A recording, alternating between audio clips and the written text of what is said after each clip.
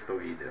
Oggi recensisco un film a cui sono particolarmente legato poiché mi era stato consigliato dal gestore della videoteca dove noleggio film che mi diceva fosse il suo film preferito. Allora io lo vidi e, e subito dopo la visione il film è diventato uno dei miei film preferiti. Il film in questione è 4 mesi, 3 settimane e 2 giorni, film romeno del 2007 diretto da Cristian Mungio, vincitore della Palma d'Oro lo stesso anno a Cannes.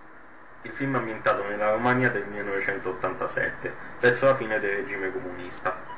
Otilia e Gabi Ita, le protagoniste della vicenda, sono due studentesse universitarie, due grandi amiche che condividono la stessa stanza negli alberghi per gli studenti universitari di Bucarest.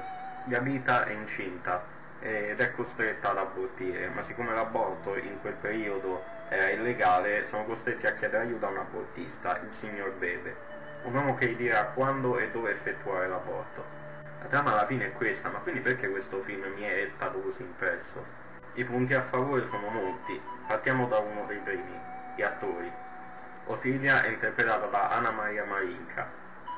Alla fine è lei la protagonista del film, il fulcro di tutta la storia, personaggio talmente legato alla sua amica che alla fine per amicizia costringerà a fare cose contro la legge e contro anche la propria volontà e Anna Maria Marinka è stata semplicemente spettacolare nell'interpretarla. Ma ancora più spettacolare di lei è stata Laura Vasiliu nell'interpretare Gabita. Gabita è un personaggio debole, insicuro, timido, non riuscirà mai a gestire le situazioni, non riuscirà mai a gestire questa vicenda che le sta accadendo. Avrà spesso cuori nervosi e ne uscirà stremata da questa vicenda. E anche Laura Vasiliu è stata spettacolare. E poi abbiamo il signor Bebe, interpretato da Vlad Ivanov, che tra l'altro è uno degli attori più noti di tutto il film. Lo si è visto nel caso Keynes, nel concerto e anche nel recente Snowpiercer.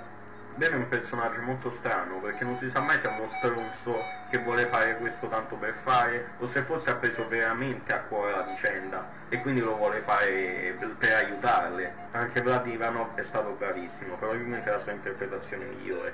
Nel cast sono presenti anche Lumita Georgiou e Alexandro Potocean. E adesso passiamo a quello che per me è il più grande pregio del film, il lato tecnico e la regia.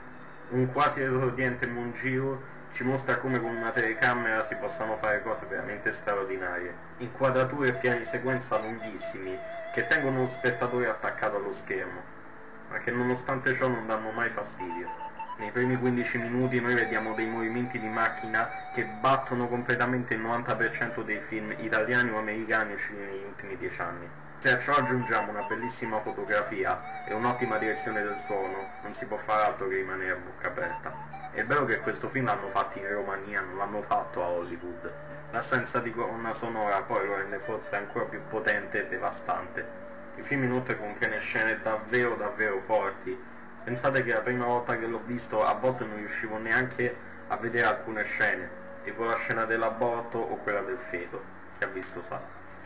Che dire d'altro del film? Come ho detto è uno dei miei preferiti, è un film che consiglio molto a chi lo sappia leggere, quindi non a chi è debole di cuore o di stomaco, un film che fa riflettere molto e che fa comprendere molto la storia di un paese, ossia la Romania. Un paese ed un popolo tra l'altro molto vicino agli italiani Scommetto che se tutti i razzisti italiani vedessero questo film sicuramente smetterebbero di criticare. E il bello che questo racconta soltanto una storia di aborto. Non parla di Ceausescu, non parla della rivoluzione, non parla del post-dicembrismo, ma lo stesso riesce a farti capire tutto e riesce a ricreare alla perfezione l'atmosfera dell'epoca. Un'epoca tra l'altro neanche tanto distante nel tempo. Infine, se avete lo stomaco per leggere questo film, guardatelo assolutamente Bisogna guardarlo per capire la storia di un paese, come dicevo, molto vicino a noi e per capire anche quale tragedia sia l'aborto, in particolar modo quello clandestino. La recensione finisce qui, quindi se vi è piaciuto mettete mi piace, commentate e condividete e noi ci vediamo al prossimo video.